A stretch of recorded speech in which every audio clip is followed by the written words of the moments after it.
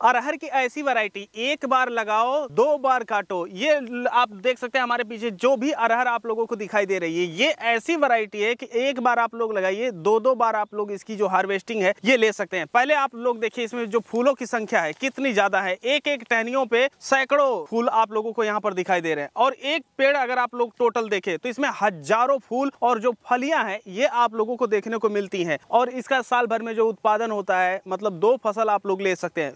दूसरी चीज़ इसकी हम खासियत अगर आप लोगों को बताएँ कि अगर आप लोग अपने खेतों की मेड़बंदी नहीं किए हैं, तारबंदी नहीं किए हुए हैं, वहाँ पर नील गाय आ जाती है, वो थ्री कटिंग कर दिया प्राकृतिक रूप से तो इसमें इतना ज़्यादा ब्रांच निकल आएगा कि इसका उत्पादन जो होता है, ये और भी ज़्यादा बढ़ जाएगा। बस जब फल लगना हो, उस समय नील गाय नहीं खानी चाहिए। ये वैरायटी कौन सी है, कितने दिन में होती है कब आप लोग लगा सकते हैं हार्वेस्टिंग कैसे होती है, इन सारी चीज़ों की डिटेल देने वाले हैं हम आप लोगों को इस वीडियो में। नमस्कार, मैं हूँ देव मौर्य और आप लोग देख रहे हैं स्मार्ट किसान यूट्यूब चैनल अगर अभी तक आप लोग सब्सक्राइब नहीं किए हैं तो सब्सक्राइब करके बेल का आइकन दबा दीजिए जिससे आप लोगों को खेती बाड़ी से संबंधित ऐसी ही जानकारियाँ मिलती रहे। हमारे पास एक किसान भाई है जो की इस अरहर की खेती को किए हुए हैं। तो ये जो अरहर की वरायटी है इसका नाम क्या है? ये सर रिचा दो हज़ार। रिचा दो हज़ार ये वरायटी है। अच्छा आप बता रहे थे की इसको एक बार लगा करके दो बार काट सकते हैं। तो सबसे पहले ये बताइए कि इसको जब लगाया जाता है तो कौन सा सही समय होता है लगाने का? ये सर जून का महीना सबसे बढ़िया होता है। फ़र्स्ट जून से पूरे जून में इसको लगा सकते खरीफ मौसम में हम पहली बार इसको लगा देते हैं तो जो। इसकी पहली हार्वेस्टिंग होती है पहली कटाई जो इसकी होती है वो कब होती है? ये पहली कटिंग सर नवंबर में आ जाएगी। पहली कटिंग आप लोगों को इसकी नवंबर में मिलती है तो अब ये आप लोग देख सकते हैं। अच्छा जब हार्वेस्टिंग होती है तो जड़ से उखाड़ लेते हैं या सिर्फ़ नहीं, नहीं, जो फलियों को? ये चाहे आप इसको ऐसे काट लीजिए ग्रप्स ग्रफ्स और चाहे से निचरोड़ लीजिए इसका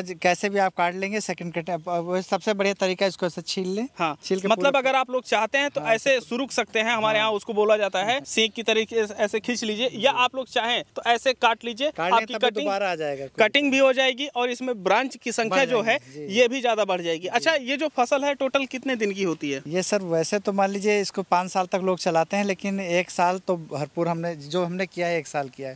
पिछले साल लगाए थे जुलाई में हमारा लेट हो गया अच्छा दूसरी इसकी हार्वेस्टिंग कब आती है? ये दूसरे साल मार्च में आ जाएगी। दूसरी बार जो हार्वेस्टिंग इसकी आती है ये मार्च से तीस मार्च तक आ जाती है। तीस मार्च तक आती है। लेकिन हम जो है अभी नवंबर के महीने में है। यहाँ पर फ्लावरिंग दिख रही है तो क्या कारण है फ्रूटिंग आ गई सर फ्रूटिंग हाँ, इसमें फल दिख रहे हैं लेकिन हार्वेस्टिंग तो अभी नहीं हो रही है तो क्या कारण है? ये सर काफ़ी लेट हो गया था लगाने अच्छा। में और फिर नीलगाय इसको खा गए पूरा पौधा। अच्छा इस वजह से आप काफ़ी सच्चे इंसान है और किसान है की आप लोग जो रियलिटी है इसकी ये बता दे रहे हैं। तो देखिये पहले नील गाय खा गई और नील गाय खाई इसके पहले जो समस्या थी उसमें काफ़ी लेट लगा हुआ था। तो ये चीज़ें अच्छा अब बात आती है उत्पादन की।